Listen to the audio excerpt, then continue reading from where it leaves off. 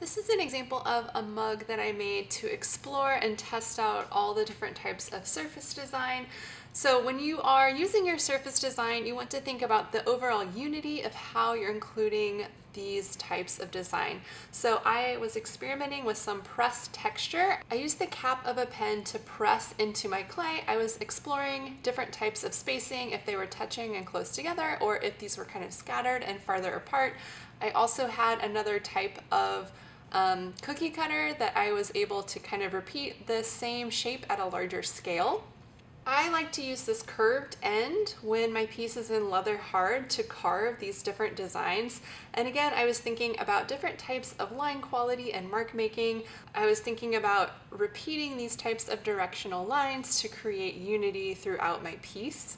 This is called slip trailing. You can put slip in a squeezy bottle like this. This type of clay has grog in it, so you'd want to sieve out your slip before you put it in a bottle like this. This nozzle is very, very fine, so all of that grog would get clogged in the nozzle. But this is a fun way to add designs that are raised. This is called water etching. You can do this with shellac or Mod Podge, and I like to do this with stencils, and that way I can get a really clean edge.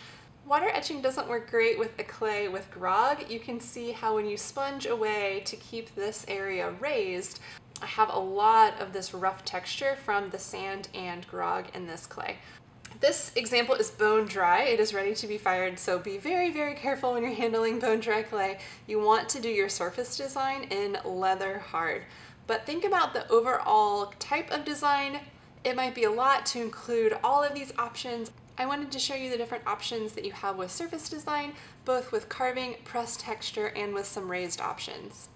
This piece was darted with a double pointed dart, the almond style here, and I had three single pointed darts at the bottom to make the bottom smaller. I started with a cylinder. When you glaze a piece with texture, the glaze will pool in recessed areas, making that area darker, and the glaze will break over raised areas, making that glaze thinner. It is nice to have different types of textures in order for your glaze to be more dynamic.